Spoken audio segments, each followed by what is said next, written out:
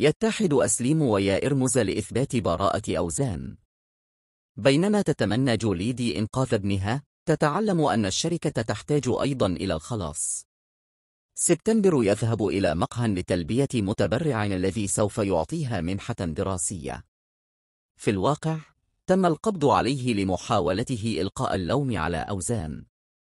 عندما يذهب إلى السجن يمسك الشاعر في اللحظة الأخيرة ويقول الحقيقة. غير كوري نتيجة اختبار الحمض النووي. رازي يقارن إيفيت ويا إرمس. تقع العفة في الحب بمجرد أن ترى يا أوشنز. ينتقل نيرمين للقاء إل إرمل من خلال المعلومات التي قدمها به إرميت. غير مدرك إلى أين هو ذاهب سبتمبر على وشك مقابلة نيرمين. سيفعل ياغيس أي شيء للعثور على سبتمبر المختطف. أسل إرم وأوزاني يختبئان من الشرطة من ناحية بينما من ناحية أخرى يتابعان الحقيقة. رازية محاصرة عندما علمت أن نرمين قريبة جدا من العثور على ابنتها. سبتمبر يتلقى نتيجة اختبار الحمض النووي. الصبي من يائيمس لكن رجال عدنان اختطفوه قبل أن يتمكن من فتح الظرف ومعرفة ذلك. سوف يأتي الزيت بعدك. في الحقيقة هو سيختطف الشاعر. ليس لديه نية لتسليمها إلى الشرطة.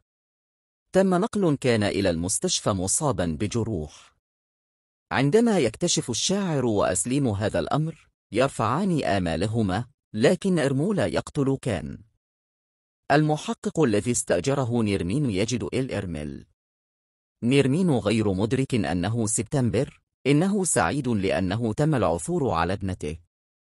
يا إرمز مصمم على جعل إل إرميل يقول الحقيقة.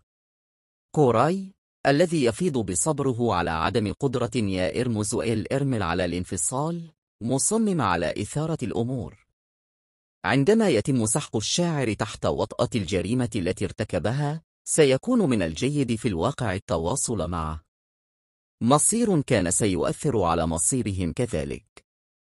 عدنان يضغط على إل إرمل بسبب ديونه لإحسان.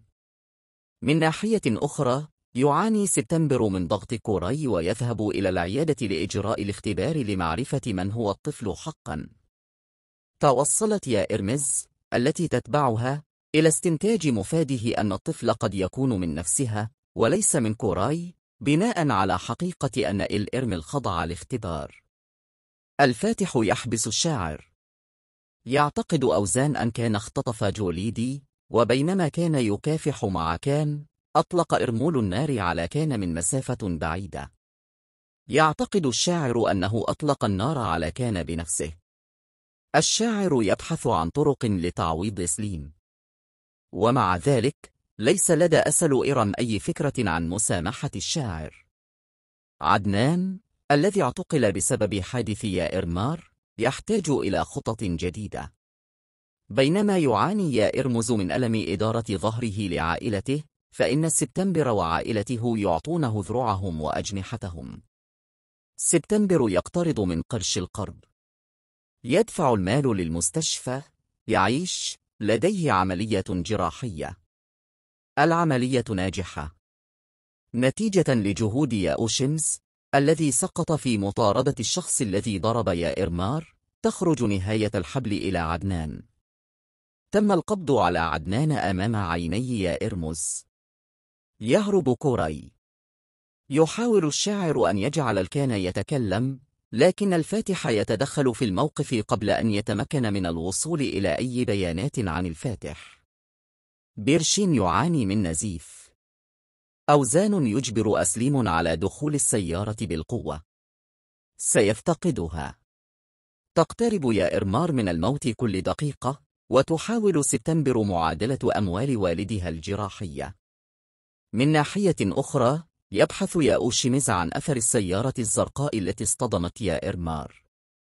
أوزان يحدد لمعرفة من الذي وضع اللعبة التي تسببت لهم لتفريق مع أسليم. تعود ذاكرة جوليدي وتخبر أوزان أن أسليم بريء. يجد بيرشين رسالة التي تركها كان على باب سليم. يا إرمار في المستشفى يقول الطبيب إنه يهدد الحياة. هناك حاجة إلى 300 ألف ليرة للعملية. يقول سبتمبر أنه سوف تجد المال. يذهب يا إرمز إلى موقع الحادث ويجد الطفل يا إرمار الذي اشتراه الإيل إرمل. ويعطيه الإيل إرمل عندما علم أن والده قد غفر له يجد سبتمبر السلام وإن كان مؤقت. بينما ينتظر بيرشين بفارغ الصبر إلغاء زفافه مع أوزان يلاحق أوزان ملاحظة غير متوقعة. يا إرمار وقال أنه كسب المعركة من أجل الحياة بعد وقوع الحادث كان لديه. سوف كوراي الذي تركه في منتصف الشارع تحقيق هدفه. بعد أن خسر عدنان القضية قرر أن يقتل يسار الذي لديه ضغينة ضده. يعين كوراي لهذا الغرض. حتى لو لم يرغب كوراي في ذلك فعليه أن يفعل ما يقوله عدنان. يضرب يسار بسيارة. كان يترك ملاحظة مجهولة على باب سليم. يجد الشاعر هذه المذكرة تفيد بأن الكان آسف جدا أسل أتام بريء لكنه لا يستطيع معرفة من تركها. بيرشين مستعد للزواج. تشعر جوليدي أن هناك شيئا غريبا في حقيقة أن بيرشين وأوزان يتزوجان. أوزان؟ الذي اهتزته أخبار حمل بيرشين غير مدرك أنه يتم إعداد حفلة في منزلهم. بينما يغمر انتصار يا إرمار على عدنان الجميع بفرح تصل رسالة أخيرا إلى مالكها الحقيقي. الفاتح على وشك أن يقرر أنه بحاجة للتخلص من الكان الذي كان يختبئ منذ أيام. يخبر كوراي إل إرمل أن الطفل هو طفله.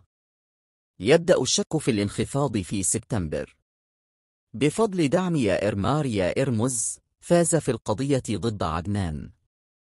يتعلم أن سبتمبر يا أم الساعد تكشف بيرشين أنها حامل لوالدها ووالدتها.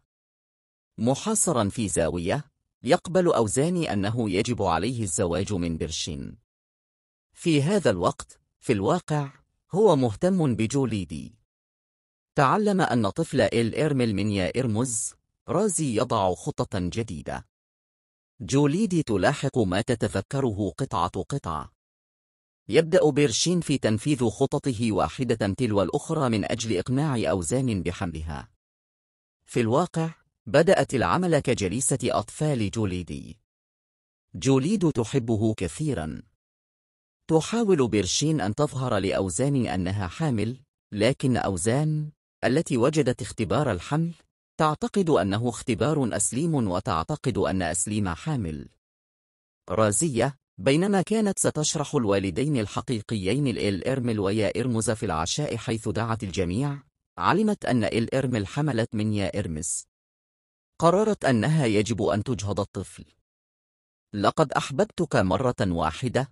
انتهى فيديو المعلومات الخاص بنا هنا. لا تنسوا الاشتراك في قناتي وتشغيل الإشعارات.